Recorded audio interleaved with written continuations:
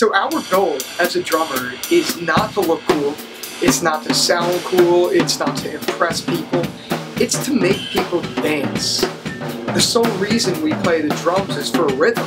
We play so we could sound syncopated with our other musicians or even amongst ourselves. We don't play to look cool. We don't play to try our best to sound cool. Cool. Yes, we do try to sound good. We don't try to sound cool though.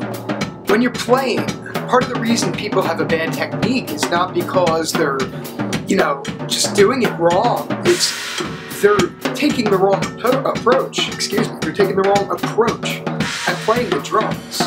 The approach is to not try and screw every chick in the audience. That's not, believe me, that's not your goal. It doesn't matter. As long as some kind of rhythm is flowing, it sounds great. Now, another example, and I've used this in another one of my videos, I was at R40, which is Rush's 40th anniversary uh, tour. I was there uh, in Philadelphia, and it was the first time I listened to Rush live, obviously, so hearing them, I was like, holy shit! How can this band sound so tight, almost like they're still in the studio? I mean, of course, unless they're lip syncing, but no, they weren't that. I discovered and I thought about it this way. Drums are misunderstood. A drummer is misunderstood. Without drums, you wouldn't be dancing. You wouldn't feel that rhythm. Yeah, you'd hear nice guitar riffs and nice bass riffs, but you wouldn't have that feel. There would be no heart to the music. Drummers, we are the anchor. Without us, the boat won't sink. I mean, the boat won't dock or uh, float our boat will just continue to move. We can't, you know, do anything about it. No, we're the anchor. We're the ones that set the tone. We set the groove. We set the pace. We set where we're going to be. That's our job as drummers. And people, you know, overlook that. But honestly, without us, there wouldn't be music the way we know it. Once again, back to my Rush example.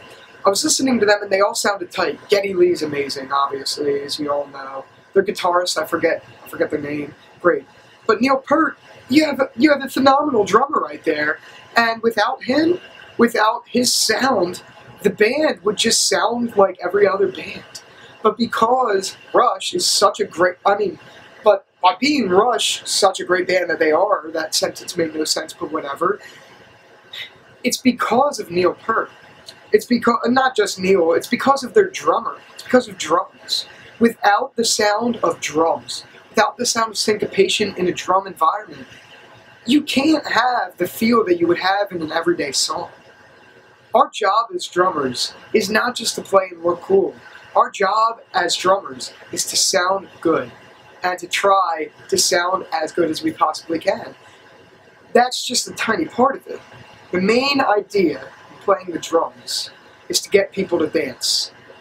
So sitting down at your kit however you practice, whatever you do, take that into consideration.